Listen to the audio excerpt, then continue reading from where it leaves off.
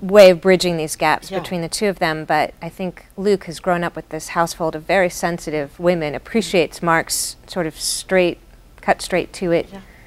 And wherever they go now, oh, Mark Franco and his son Luke, Right. and they're on the cover of magazines.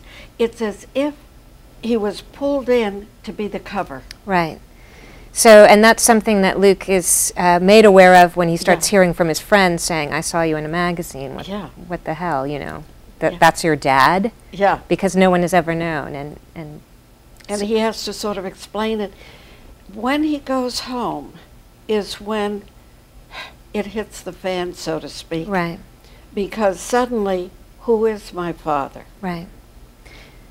Yes, And- yeah, and Sharon is almost uh, doesn't want to lose Luke to Mark. right, He's being seduced by Hollywood, by everything that that encompasses. hmm Yes, I think she's jealous of this really rich relationship that Luke has forged with his Yeah. father. And of course, Luke, like any teenage boy who's just had this amazing summer, can't stop talking about it. So every other word out of his mouth is "my dad, my dad, my dad," and um, and that that creates a sort of boiling hot How long did it take you to write the book? about a year to write, Mm-hmm. and then about another year to rewrite. yeah. What was the catalyst?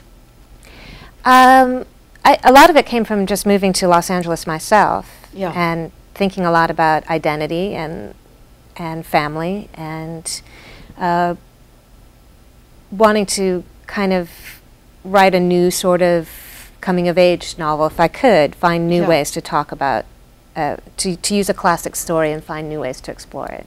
Mm-hmm. And is there a sequel to it where Luke goes to college?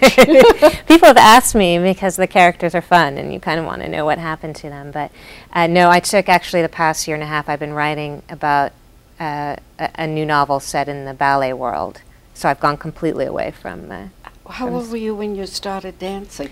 well, I was, I was three when I started, you know, when I told my mother I wanted to take ballet class. Yeah. Um, and then uh, started training seriously at around 10. What was the musical you were uh, dancing in? Contact. We were actually here in Los Angeles for a couple of months at the Ahmanson Theater. That was my first time being in LA for, for a long time. oh, really? Yeah. Yeah. So it was quite fun. And would you go back to dancing now?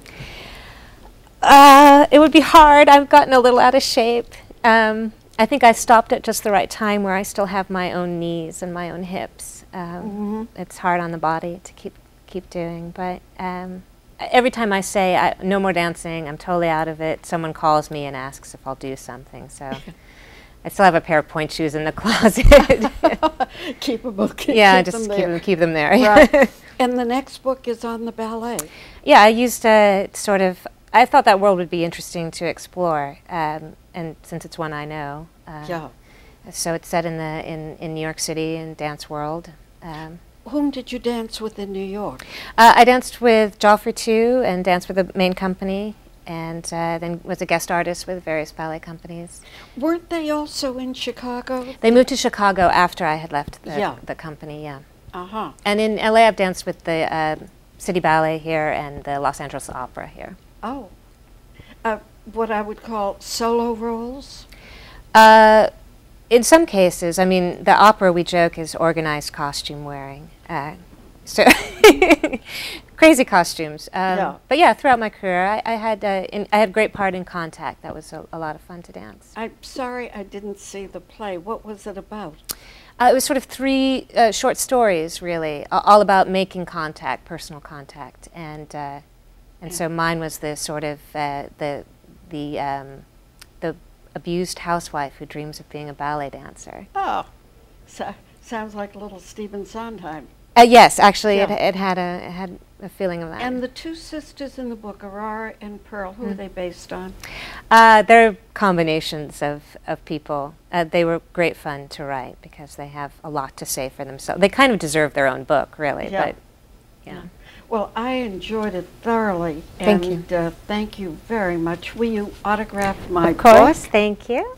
And if you'd like to know what else we've been reading, visit me on the web. And uh, you can visit at read our columns from the Beverly Hills Courier. You can be linked to YouTube, and uh, you can also read what we've liked recently. Among them, Victoria Zackheim's He Said What.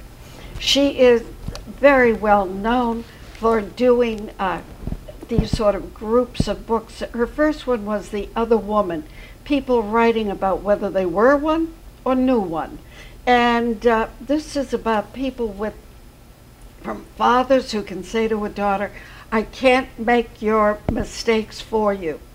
Or the, the one who writes about, well, I'll tell you who's in here, J.D. Salinger, who said to Joyce Maynard, pack your things and get out. I don't want to ever see you again. Two years after she's left college for him, and he pursued her. She had written a great article in the New York Times.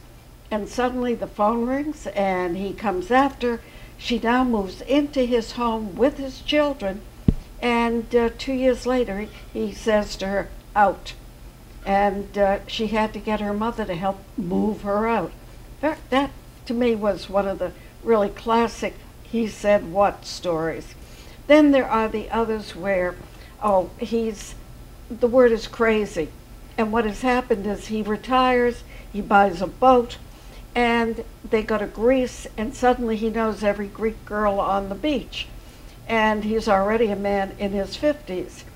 And suddenly it turns out that he wants out of the marriage, and she says, I've had enough. And it's written 20 years later when they're at their daughter's wedding. She has remarried a man named R. And R had known what a real flake the man was. Uh, just some of the stories in this book, he said what. And uh, also, Bob, Robert Tanenbaum has written another Butch Karp mystery uh, about, again, Butch Karp as the district attorney in New York City. It's a little one of his faster books, but it's well worth reading. I liked some of the others better, but this is not bad either. And then there is Edward Larson's book, An Empire of Ice, story of R- Scott Shackleton and Amunds, uh, Amundsen, who was the Norwegian. They are all after the South Pole. The two, Shackleton and Scott, are English. This is in the early 1900s. And they each have various expeditions there. Now, Amundsen uh, is the one who says, I want to get to the pole. He gets to the pole, he builds a tent, he puts the flag of Norway up, and he leaves a letter for Scott and Shackleton to bring back to prove he was there first. Well, back in England, they said, but wait a minute, where is the science? Where is the expedition where you're going to tell me what the stones are made out of? What is the, well, I had a nephew who spent five years in the winter uh, for IT&T. And down, they go down under the ice to have today. Well, they had to build, sort of dig under for them to sleep and really have a tent. The only thing I will say is when you see the book, and Amundsen has the uh, fur that the Inuit Indians wear, uh, that's when you know he knew. That finally, Shackleton does go on. Scott never came back. And it is interesting that the four men with him were all given because they had run out of food, run out of dogs, run out of ponies, opium in a mortal amount to kill them because they were suffering so. Well, just some of the books we've liked recently. Support your local library. Whatever you can do, volunteer. They need all the help they can get. You have books you want to get rid of, give it to your library. They either will keep them on the shelf or they'll be very happy to sell them in their bookstore. What did a library mean to you growing up? Oh, that was every week. Um, uh, Mom would take my brother and I. We would get our stack of books, the the whole you know card in the slot, the sound, and so I've been a, a proud library goer and wrote a lot of this book at the New York Public, um, at the uh, LA Public Library. Oh, so- that's a great library. Oh, yeah. Yeah, I mean, when you go in there, it's sort of like a whole other world. Oh, it's gorgeous. Yeah. Yeah. Yeah. And nothing wrong with the New York Public Library. No, it's it's fine. It turned 100 this week. Actually, Yeah. today I think is its 100th birthday, so Yeah. perfect to celebrate libraries And today. isn't there a ballet library too? There's the New York Performing Arts Library, Yeah. which is fantastic. Yes, at Lincoln Center. Have you ever choreographed a ballet yourself? I have not. No. Uh, it that's what I do in my head when I listen to music a lot, but never actually. Yeah, yeah. Well, I tell you, Meg, it was a lovely book. I'm sure somebody is going to want to make uh, either movie of the week or a film out of it, and it it would be a very touching film. Thank you. And uh, thank you, and we'll see you next time. Thank you very much. Thank you so much for having me.